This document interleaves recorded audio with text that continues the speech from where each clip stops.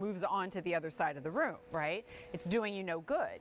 This to me is almost like um, it's like a supplement to your existing uh, HVAC, but you can crank down the air conditioner, in other words, lower uh, the air conditioner, and then have this going when you're sleeping at night. We need right. So we want we want the one power magnification, which is the full size, full face mirror.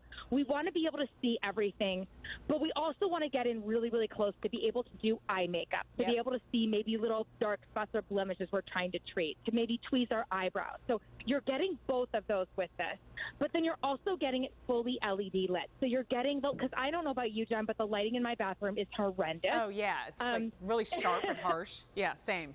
It's yeah, exactly. And so this gives you full lighting all around the rim, so it shines that light directly on your face.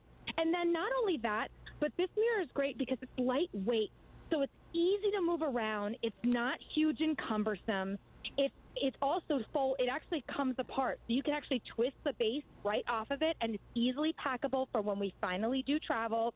So that's what it really does have everything going for it. It's Yeah. not too heavy. It gives us the, all the powers of magnification. It is fully LED lit. Um, so it's really it's such a win-win at this price. It's crazy. I mean, and that's distortion free. So distortion free means it's not like warped or bending, right? And this is the one time magnification that you're seeing right here.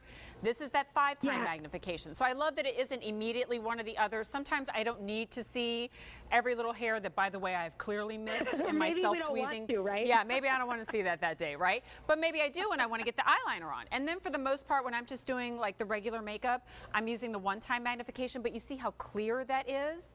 But also you see this, it's almost like the light is very similar to when you get in your car and it's like a sunny day and you look in the mirror and you see, oh my gosh, I missed that one. I missed that thing. That lighting Well, seems yeah, to it's bring one it of those out. things where it's like, or your neighbor comes along and says, "Oh, I really like that piece. Can I have it?" And oh yeah, there it goes, grows legs and walks away and That's never right. comes I back. don't know what we're doing. This, I want to show it to you again because I know we don't have too much time. Even if you think, oh, what am I, am I going to slide around on this? It's impossible for you to completely slide off. This little side uh, shot is going to show you. It will butt up against the side of the device. So when you put your feet in, there's nowhere else for it to go but up against the unit. And so you step right on. There's even like little grooves on there. And I'm doing it in my, my flats, right? But obviously you would do this in sneakers or even barefoot. And then once you do, um, you can even see. Like you're getting you're getting the muscle activity happening, and when the muscles are engaging, they're lifting, they're firming. You can use it without the included handles, but if you engage them, then you're getting that upper body movement as well. And I love that it's so portable. It's lightweight. It's slim. Fiona, I live in a two-bedroom apartment, and I tell you, there's a lot of stuff when I moved out of my house that didn't make the cut. But this made the cut because it's just a 60 second workout and you'll feel the difference. Absolutely. I think everybody has so many excuses not Yeah. to exercise, especially now.